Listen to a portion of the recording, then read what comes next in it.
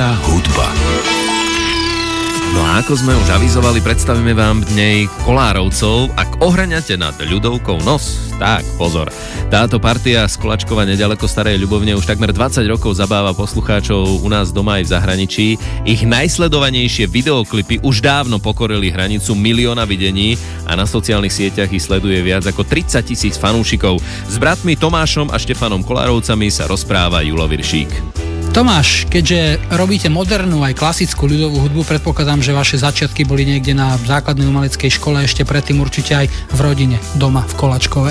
My ako od prvého ročníka základnej školy sme povinne navštevovali aj základnú umeleckú školu, no rodičia to teda nejak vycítili, že máme k tomu vzťah, že sa nám páčia mm, husličky, klavír, akordeón, gitára, jednoducho hudobné nástroje a myslím, že hlavne tým, že otec, e, jeho snom bolo, aby navštevoval hudobnú umeleckú umeleckú školu, aby sa naučil na akordóne, ale tú možnosť on teda nemal, tak to doprial všetkým deťom. My sme z piatich detí, ale každý e, chodil na zúšku.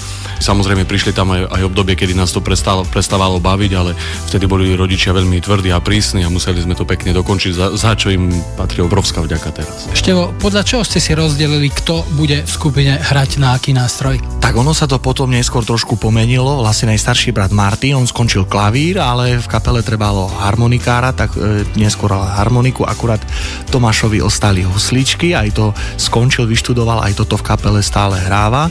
No a ja som mal trošku vlastne harmoniku, ale skončil som klarinet a potom odišiel teda harmonikár, Martin prešiel na cymbal, čiže ja som musel sa učiť na akordeón. No a potom neskôr samozrejme aj ten sopran saxofón a alt saxofón, takže sa to menilo podľa potrieb, čo kapela potrebovala. V jednom z vašich aktuálnych videoklipov ste použili aj archívne zábery z konca 90. rokov, to ste boli ešte ucha.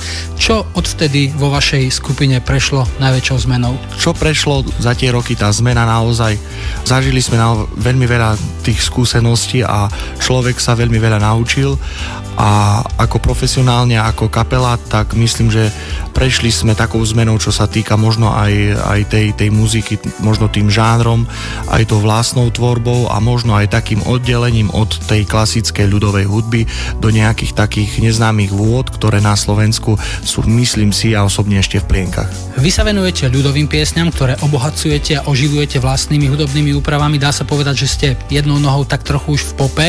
Koľko skladie máte v repertoári aký dlhý by bol váš koncert, ak by ste hrali non-stop, Tomi? Nakoľko už hráme skutočne viac ako 20 rokov a prešli sme si tým vývojom od klasickej ľudovej hudby až po ten žáner, ktorý robíme teraz, ktorý je jedinečný. Ten repertoár je veľmi široký, nakoľko máme tisíce nôd odohratých svadieb, ešte niekedy, keď sme teda hravali svadby, oslavy, tak ten repertoár je neskutočne bohatý a ja myslím, že keby sme hrali v kuse, tak aj 3 dní, len neviem, či by sme to fyzicky teda vydržali. Podľa akého kľúča vyberáte piesne do svojho playlistu? Ste gorali, takže to je jasný základ, ale hráte aj množstvo piesní z iných regiónov. Áno, e, niekedy v minulosti vlastne sme aj natočili také pôvodné folklórne to CD, kde bolo zmapované vlastne ten folklór celého Slovenska, ale hlavne e, teraz my vlastne čerpeme tak ten gorálsky akcent tam je, ten temperament a vybereme nejaké prvky a samozrejme prispôsobíme si to na svoju ruku a čo je také originálne, možno aj jedinečne tie naše autorské piesne, ktoré v našej kapele píše Števo Repka a myslím, že robí to veľmi dobre, aj originálne a možno toto nás oddeluje od iných kapiel. Zahráme si vašu autorskú pieseň Letná láska. Máme už síce jeseň, ale môžeme sa aspoň takto v spomienkach vrátiť do obdobia, keď sme tu mali tie extrémne horúčavy. Ako by si túto pieseň predstavil Tomáš? Je to taká presne pieseň, ktorá zachytáva tú letnú atmosféru, slnko, pohodu, prázdniny a také nič nerobenie a takú, takú, tú letnú energiu, slnečnú energiu. Mne osobne sa veľmi páči aj, aj tým ľuďom, našim fanúšikom boli veľmi pozitívne ohlasy, e, keď sme ju dali teda do etéru. Ako si vravel, je jeseň, ale ja verím, že každé, každému poslucháčovi vyčári úsmev na tvári a spomenie si na to naše krásne leto extrémne, ktoré sme mali.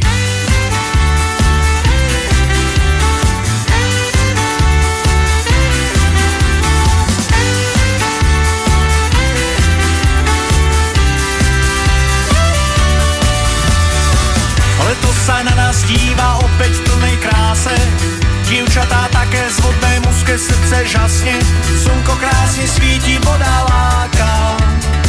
Každý z nás už len na to čaká, očarený toľko krás spásou vidím v tvojej tvári, že táto láska môže skončiť rovno pri oltári. Slova lásky vo mne stále briehu,